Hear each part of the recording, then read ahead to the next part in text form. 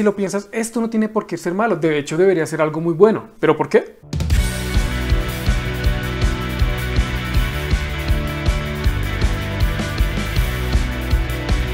Hola, ¿cómo estás?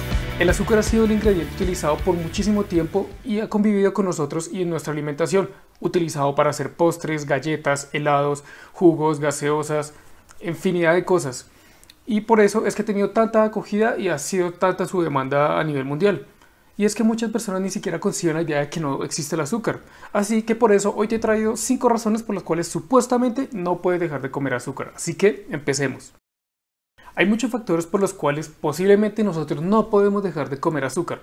Empezando porque desde nuestros ancestros, como ellos convivieron en un ambiente hostiles, muy agrestes, y obviamente no sabían exactamente qué era lo que se podía comer y qué no, a lo largo del tiempo, pues probando y comiendo muchísimas cosas, entre eso, por ejemplo, plantas, muchas veces estas eran tóxicas y obviamente les hacían muy mal a su salud o inclusive pues sencillamente los mataban. Entonces a lo largo del tiempo, a lo largo de los siglos, según muchos estudios, se afirma que nuestros ancestros fueron desarrollando un gen para que este tipo de mm, productos o de cosas que comían, cuando tuvieran tóxicos, eh, supieran muy amargos. Y eso hacía mucho más fácil identificar cuáles alimentos o cuáles cosas ellos podían comer y cuáles no a lo largo del tiempo. Entonces podría ser por eso que siempre preferimos sabores como dulces o mejor dicho, sabores que son em, aislados o contrarios a lo amargo. Y es que si lo piensas puede tener mucha razón. Yo sé que ninguna persona te va a decir que prefiere, por ejemplo, una rama de apio a, por ejemplo, una dona glaciada. O sea, eso no, nunca va a pasar. Y si de pronto lo hiciera, no es porque le sepa mucho más rico, sino porque esa persona sabe que le va a hacer mucho mejor a su salud que de pronto esa dona. Uno de los alimentos azucarados que más tienen auge, que más se piden y que tú ves que por todos lados los comen, son las barras de chocolate, los helados y los postres. Y es que estos alimentos tienen una proporción entre azúcar y grasa muy particular. Esta es de 11% de grasa y 22% de azúcares. Pero, ¿y esto qué tiene que ver? Pues según un estudio de la BBC, afirma que esta misma proporción encontrados en todos estos alimentos los tienen nada más ni nada menos que la leche materna. Y obviamente como esta fue nuestra primera fuente de alimentación, su sabor, su textura, su densidad queda guardado en nuestro inconsciente y nosotros tendemos a preferir a lo largo de toda nuestra vida todos los alimentos que contengan esa misma proporción de grasas y de azúcares. Además, seguido a esto, los niños y los jóvenes se ha demostrado que tienen mucha más afinidad a los productos dulces. Y esto es porque sus papilas gustativas o sus receptores tienen mucha más eficacia al detectar este tipo de sabor. Es por eso que tú ves que realmente los niños sí que no pueden detenerse al comer un dulce. Bueno, otra de las razones, por increíble que parezca, es que la lengua puede que no sea el único órgano que capte el sabor dulce. Pero entonces, ¿qué otro órgano de nuestro cuerpo podría detectar también esto? Pues según un estudio realizado en ratones de laboratorio, se evidenció que todos los receptores que se encuentran para detectar el sabor dulce en la lengua no solo están en esta, sino que también están en el intestino. Y que si en el caso hipotético de que tu lengua dejara de funcionar por cualquier razón y que no volviera a captar ninguno de esos sabores, el intestino aún sería capaz de captarlos y desencadenaría todas esas respuestas fisiológicas para que nosotros aún sintiéramos el agrado por comer dulce y más encima pues que desencadene todas las eh, funciones y todas las cosas que hay que hacer para metabolizar este tipo de azúcares. Y es que este estudio resulta muy interesante porque esto quiere decir que no solo por saborearlos es que vamos a sentir ese tipo de sensaciones al comer azúcar, sino por el hecho de ingerirlos y de tenerlos en nuestro sistema digestivo. Ese es el que desencadenaría realmente toda la respuesta en general al comer alimentos azucarados. Bueno, esta razón que viene estoy seguro que la has experimentado. Posiblemente cuando tú te comes algún tipo de azúcar, un postre, un chocolate, un helado, sientes un estado de bienestar y de felicidad muy alto. Cuando lo estás comiendo te sientes, wow, excelente, esto está demasiado rico. ¿Pero esto por qué es? En varios estudios se ha evidenciado que el consumo de todos estos alimentos azucarados facilita y fomenta mucho más la generación de neurotransmisores como la dopamina, que esta es una sustancia encargada de generarle felicidad y placer en el cuerpo. Lo malo de esto es que así como se libera de rápido después de comerlos o cuando se están comiendo, asimismo se va a agotar.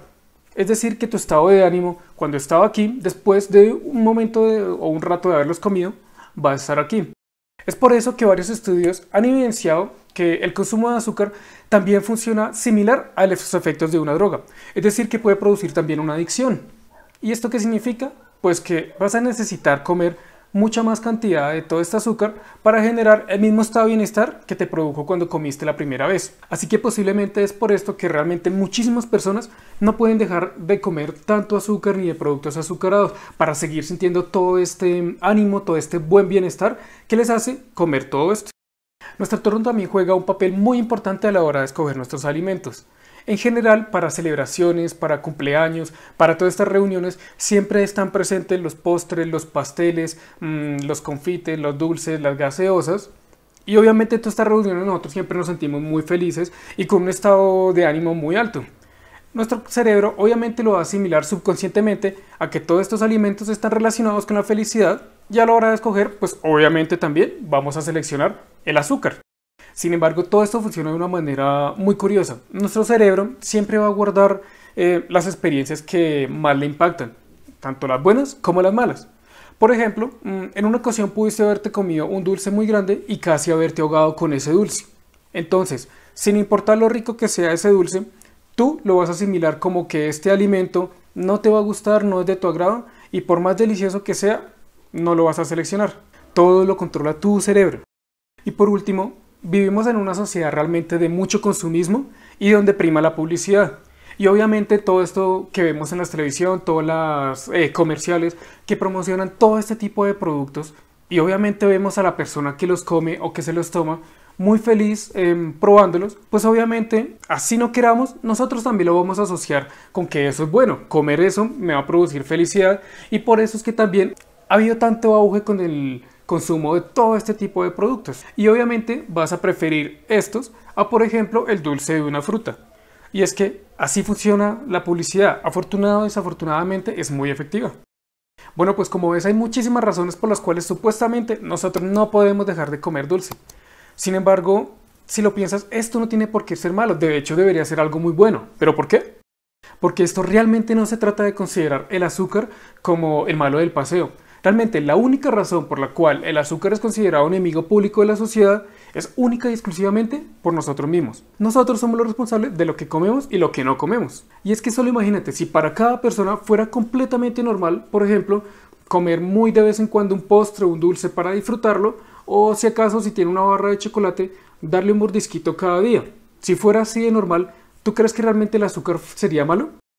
El inconveniente realmente es que nosotros no podemos dar solo un bocado y parar ahí, no, queremos todo y hasta repetir. Y este sí que es el verdadero problema, porque claro, al comerlos pues nos vamos a sentir muy bien y posiblemente digamos que también cambiemos el hambre.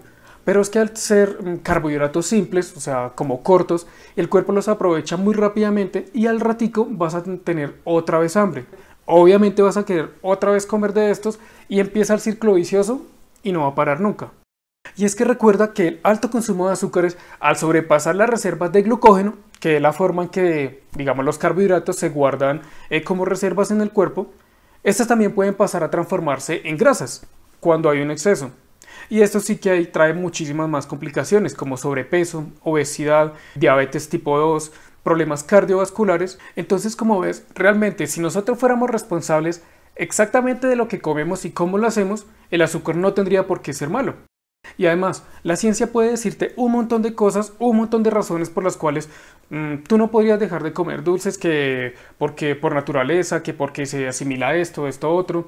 Además, también te podría decir que te causa un montón de enfermedades como las que ya te dije. Pero en definitiva, el único que decide qué hacer y qué comer eres tú. Así que lo mejor que tú puedes hacer para controlar esto es trabajar tu voluntad y trabajar tu mente. No hay más. Tú eres el único que decide si el azúcar es muy bueno o muy malo para ti. Así que ya lo sabes, espero que te haya gustado, te haya servido, compártelo con personas que realmente dicen que no pueden dejar de comer azúcar, suscríbete, activa la campana de notificaciones y te felicito por ver y buscar información para mejorar tu calidad de vida. Y recuerda, come sano, vive sano.